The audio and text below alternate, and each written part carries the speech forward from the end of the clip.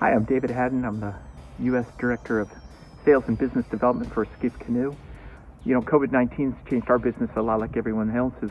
Uh, normally this time of year we're out at on water events, at slalom events, at, at shows, at, at, fishing events, and able to talk to our customers about our, our new product. Uh, this year things are a little bit different, uh, and what I thought I'd do is put a quick video together and just kind of walk you through some of the features on our new Adirondack uh, pack canoe. The Adirondack pack canoe, it's uh, built like traditional uh, pack boats in the Adirondacks, like the uh, uh, that Rushton built. Uh, th that was 10 and a half feet long, and this is actually 12 feet long. Uh, it also is built um, a little bit, so it has a little more freeboard. Uh, this has 13 inches of freeboard, so it's nicer for a larger paddler or paddler carrying extra gear.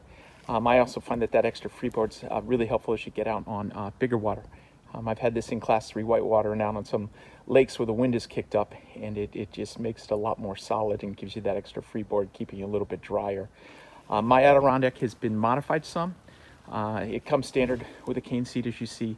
Um, I've actually made some modifications in putting a uh, sliding track on my bow thwart and then actually removing and changing out the stern thwart and putting in a set of rod holders. Um, this boat is great. It's built of a T-Formex material, which again is different from what many of the pack boats are built of. And this uh, makes our pack boat a lot more durable. Uh, it still keeps uh, fairly lightweight, about 35 pounds. Very easy for a single person to portage into uh, remote ponds, lakes, streams. Uh, with these pack boats, it's all about getting uh, access into remote locations. So I'll step back and give you a total view of it. And that's the Adirondack pack boat.